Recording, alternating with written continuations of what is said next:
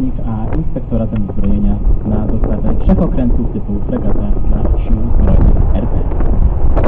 Okręty typu Miecznik to nowoczesne fregaty, które zapewnią polskim siłom morskim nowe zdolności operacyjne niezbędne do realizacji szerokiego spektrum zadań na morzu. Miecznik to także olbrzymia szansa rozwoju dla PGZ Stoczni Wojennej, ale także wielu innych krajowych podmiotów, które będą zaangażowane w jego realizację. Są dzisiaj z nami pan Mariusz Błaszczak, minister obrony narodowej, pan generał Jarosław Mika, dowódca generalny rodzajów sił zbrojnych oraz inspektorem marynarki wojennej, pan Sebastian Pałek, prezes Polskiej Grupy Zbrojeniowej, jest z nami także pan pułkownik Artur Kuptel, szef Inspektoratu Uzbrojenia, pan Paweł Lundewicz, prezes zarządu PGZ Stoczni Wojennej oraz pan Adam Roszkowski, prezes zarządu Remontowa Holding. Szanowni Państwo, zapraszam pana Mariusza Płaszczaka, ministra obrony narodowej, do zatwierdzenia podpisanej przez strony umowy na dostawę trzech liczników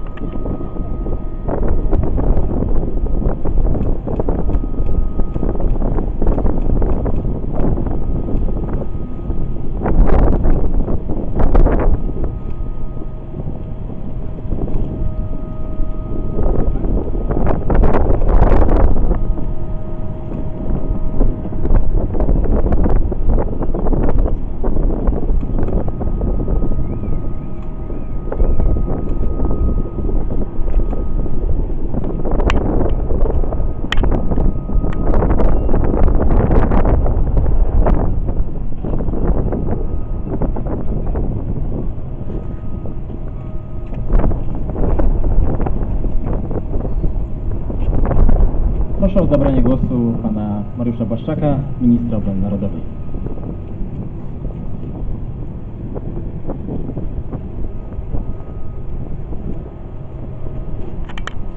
panowie generałowie, admirałowie, marynarze, żołnierze Wojska Polskiego, panowie prezesi, szczególnie chciałem się zwrócić do prezesa Polskiej Grupy Zbrojeniowej, prezesa Remontowa Holding i prezesa Stoczni Wojennej.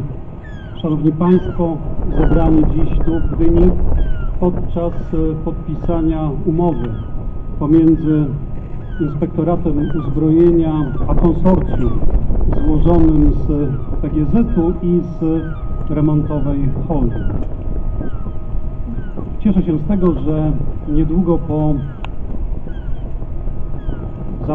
zamówieniu dla polskich e, sił zbrojnych, dla e, wojsk pancernych, czołgów Abrams możemy dziś tu w Gdyni podpisać umowę, która stanowi zamówienie trzech okrętów dla polskiej marynarki wojennej.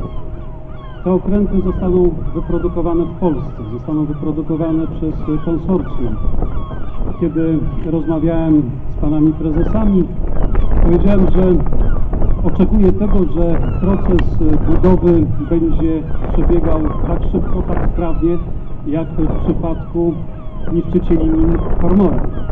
To jest e, wizytówka zdolności, możliwości polskiego przemysłu zbrojeniowego i jednocześnie to jest dowód e, na to, że można Polsce budować okręty, okręty, które są bardzo dobrze oceniane przez polskich marynarzy. Jestem przekonany, że tak będzie również w przypadku trzech fregat wielozadaniowych. Bo to będą duże jednostki, to będą fregaty, dlatego że takie są potrzeby polskiej marynarki wojennej. To będą jednostki, których siłę rażenia każdej z nich osobna można będzie przyrównać do dywizjonu ogniowego morskiej jednostki rakietowej, natomiast e, siłę zapewnienia bezpieczeństwa, zapewnienia osłony, obrony przeciwlotniczej, przeciwrakietowej do baterii Patriot. A więc e, to będą rzeczywiście okręty, które stanowić będą na Bałtyku znaczną siłę. Ich rola to przede wszystkim podstawowa rola to obrona polskiego wybrzeża, ale także będą wykorzystywane, tak jak obecnie funkcjonujące w ramach polskiej marynarki wojennej fregaty w misjach sojuszniczych, w misjach Sojuszu Północnoatlantyckiego. Mogę powiedzieć w ten sposób, że z siłą i z dynamiką, e, którą odznaczają się czołgi Abrams, pokonujemy rafy, pokonujemy przeszkody związane z wyposażaniem Wojska Polskiego w nowoczesny sprzęt. W przypadku okrętów, w przypadku fregat też było wiele raf, też było wiele przeszkód. Część z nich już została pokonana. Mamy dokładnie sprecyzowany plan pracy. Zadania są rozpisane w szczegółach, a więc e, do końca listopada zostaną przygotowane przez konsorcjum trzy projekty koncepcyjne.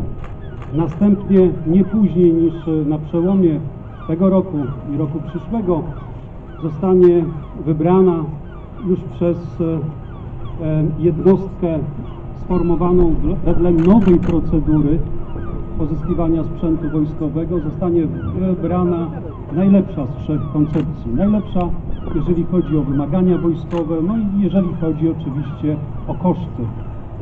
Następnie konsorcjum przystąpi już do prac związanych z powstaniem projektu technicznego i później do budowy pierwszego okrętu. Wedle przyjętego harmonogramu chcemy, aby pierwszy okręt został zwodowany za 4 lata. Tak, za 4 lata. To jest możliwe, proszę Państwa. To jest ambitny cel, ale jest możliwy do zrealizowania. A potem kolejny jednostek. E, Chciałem się zwrócić przy okazji do pasjonatów polskiej marynarki wojennej. Znam Państwa z mediów społecznościowych. Proszę Państwa, pilnujcie tych terminów, pilnujcie tych e, zadań. E, Ja patrzę na swoją misję w perspektywie kadencji. Potem wybory, naród zdecyduje, kto będzie Polską rządził po 23 roku, ale jakkolwiek by nie było, pilnujcie Państwo e, tego projektu, bo nacisk społeczny, pewna presja społeczna jest niezwykle ważnym argumentem, e, który pomaga w przełamywaniu wszelkich barier. Dziękuję wszystkim tym, którzy przyczynili się do powstania tej umowy. Jestem o tym przekonany, że wielokrotnie będziemy mieli okazję, żeby śledzić poszczególne etapy prac, no i że spotkamy się za 4 lata na wodowaniu pierwszej fregaty. Pierwszej fregaty, która powstanie w ramach konsorcjum powołanego i w ramach konsorcjum, z którym dziś Inspektorat Uzbrojenia, więc jednostka Ministerstwa Obrony Narodowej podpisała umowę. Dziękuję. Bardzo dziękuję Panie Ministrze. O zabranie głosu proszę również Pana Sebastiana Chwałka, Prezesa Polskiej Grupy Zbrojeniowej.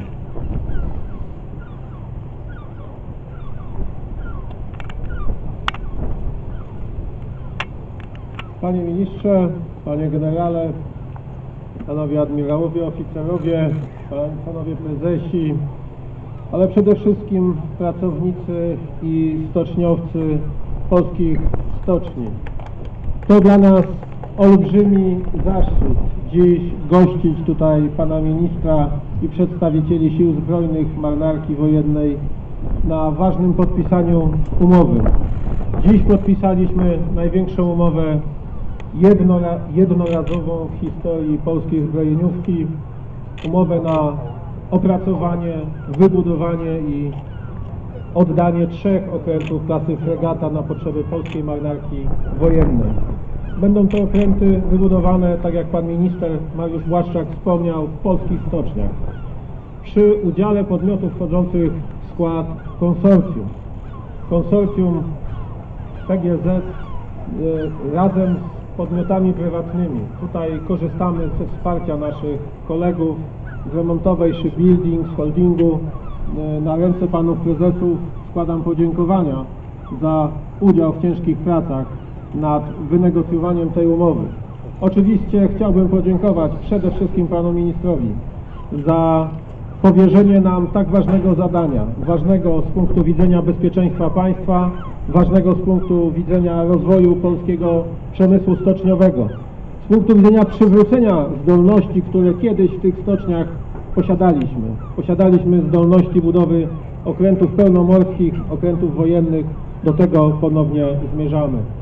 Bardzo dziękując również przedstawicielom Inspektoratu Uzbrojenia, tutaj podziękowania na ręce pana pułkownika Kuptela za olbrzymi wkład pracy, jakie pracownicy i żołnierze Inspektoratu Uzbrojenia włożyli w negocjacje z przedstawicielami naszego konsorcjum. To były bardzo owocne prace, pierwszy raz w takim tempie prowadzone z olbrzymim sukcesem. Tak jak powiedziałem, będzie to nie tylko bezpieczeństwo państwa, ale praca dla tysięcy polskich pracowników, stoczniowców, wielu firm, dziesiątków, można powiedzieć nawet setek firm, które wejdą w skład poddostawców e, systemów poszczególnych na potrzeby wybudowania tych trzech fregat. Będą to fregaty uzbrojone w najnowocześniejsze środki bojowe, o co wielokrotnie zabiega pan minister i tutaj na ręce pana ministra tę deklarację składamy, że postaramy się przygotować takie uzbrojenie na polskie marynarki, że będą, będziemy mieli się czym szczycić nie tylko w ramach basenu Morza Bałtyckiego, ale na oceanach świata.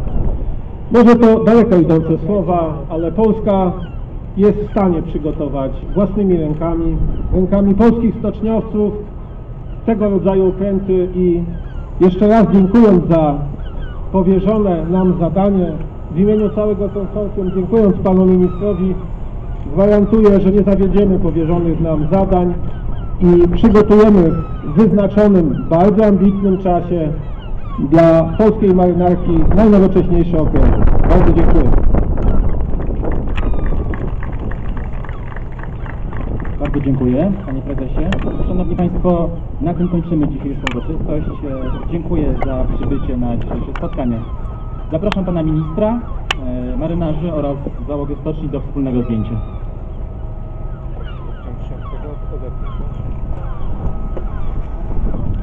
off to. Still there.